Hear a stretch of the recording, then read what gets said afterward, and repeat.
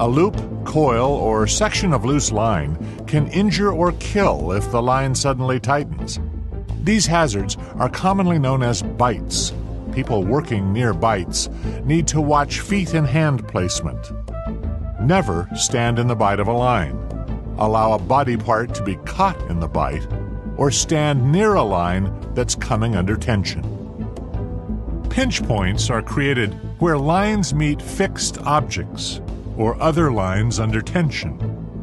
The extreme force of a taut line over a metal fitting can catch and crush fingers and hands, toes and feet. Be especially aware of loose gloves or clothing which can be caught at a pinch point.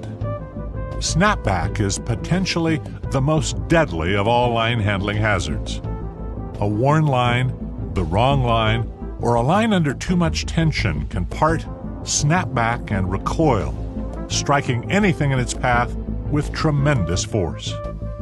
Always avoid the snapback zone, the likely path of a parted line.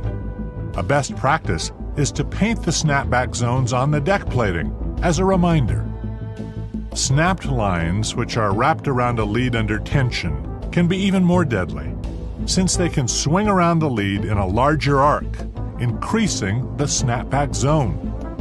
And snapped lines, traveling at the velocity of rifle shots, can also bounce and ricochet off solid surfaces, killing on the rebound, too.